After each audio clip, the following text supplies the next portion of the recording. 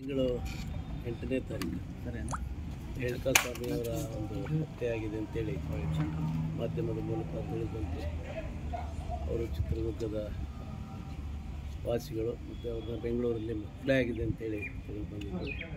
ಆ ಸಂಬಂಧವಾಗಿ ಇವತ್ತು ನಾನು ಅವ್ರ ಮನೆಗೆ ಭೇಟಿ ನೀಡಿ ಅವರ ತಂದೆ ತಾಯಿಗೆ ಮತ್ತು ಅವರ ಶ್ರೀಮತಿಯವರಿಗೆ ಒಂದು ಸಾಂತ್ವನವನ್ನು ಹೇಳೋಂಥ ಕೆಲಸ ಮಾಡಿದ್ದೀನಿ.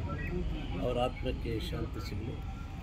ಮತ್ತು ನಿಷ್ಪಕ್ಷವಾದಂಥ ತನಿಖೆಯಾಗಿ ತನಿಖೆ ಪೂರ್ಣಗೊಂಡ ನಂತರ ನ್ಯಾಯಾಲಯದಲ್ಲಿ ತಪ್ಪಿತಸ್ಥರಿಗೆ ಶಿಕ್ಷೆ ಅನ್ನೋಂಥದ್ದು ನನ್ನ ಒಂದು ಇಚ್ಛೆ ಮತ್ತು ಕರ್ನಾಟಕ ಸರ್ಕಾರ ಇದೊಂದು ಆಕಸ್ಮಿಕ ಘಟನೆ.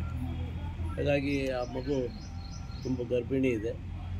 ಅವ್ರಿಗೇನಾದರೂ ಒಂದು ಉದ್ಯೋಗವನ್ನು ಒದಗಿಸ್ಕೊಡುವಂಥ ಕೆಲಸವನ್ನು ಮುಖ್ಯಮಂತ್ರಿಗಳು ಮಾಡಬೇಕು ಅಂತೇಳಿ ಮುಖ್ಯಮಂತ್ರಿಗಳನ್ನ ಈ ಮೂಲಕ ನಾನು ಒತ್ತಾಯಿಸ್ತಾ ಇದ್ದೇನೆ.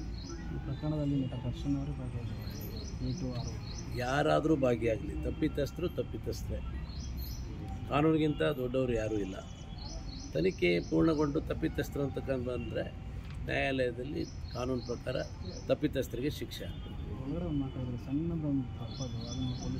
ಹಾಂ it is a small crime ಸಬ್ ಇದು ಇದು ಸಬ್ಸ್ ಸೈಬರ್ ಕ್ರೈಮ್ ಸೊ ಈಗ ಏನು ಈ ಮಾಡ್ರನ್ ಜಗತ್ತಲ್ಲಿ ಸೋಷಿಯಲ್ ಮೀಡಿಯಾ ಬಂದು ಈ ಟೆಕ್ನಾಲಜಿ ಹೆಚ್ಚಾದ ಮೇಲೆ ಈ ಸೈಬರ್ ಕ್ರೈಮ್ಗಳು ಜಾಸ್ತಿ ಆಗ್ತವೆ. ಸೈಬರ್ ಕ್ರೈಮ್ಗೋಸ್ಕರ ಸೈಬರ್ ಪೊಲೀಸ್ ಠಾಣೆಯನ್ನು ನಮ್ಮ ಸರ್ಕಾರ ತೆಗೆದಿದೆ.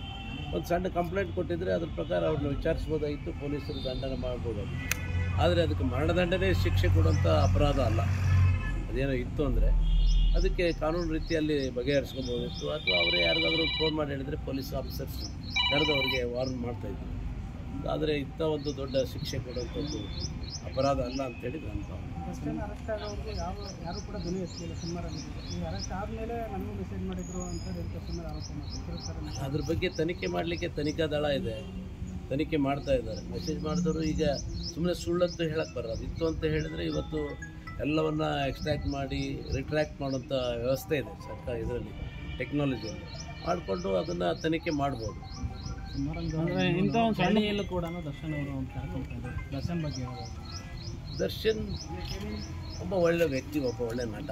ಆದರೆ ಇವಾಗ ಈ ರೀತಿ ಮಾಡಿದ್ದಾರೆ ಅಂತೇಳಿ ಆಪಾದನೆ ಇದೆ. ಅವರು ನ್ಯಾಯಾಲಯದಲ್ಲಿ ಕೇಸನ್ನು ಎದುರಿಸ್ತಾ ಇದ್ದಾರೆ. ಕೋರ್ಟ್ ಈಗ ನ್ಯಾಯಾಂಗ ಬಂಧನದಲ್ಲಿದ್ದಾರೆ ತನಿಖೆ ಆಗಬೇಕು. ತನಿಖೆ ಆದಮೇಲೆ ಸತ್ಯಾಸತ್ಯತೆ ಗೊತ್ತಾಗುತ್ತೆ ಕುಟುಂಬದವರು ಕೂಡ ಒಂದು ಆಗ್ರಹ ಮಾಡಿದ್ರು ಸಿನಿಮಾರಂಗದಿಂದ ಬ್ಯಾನ್ ಮಾಡಬೇಕು.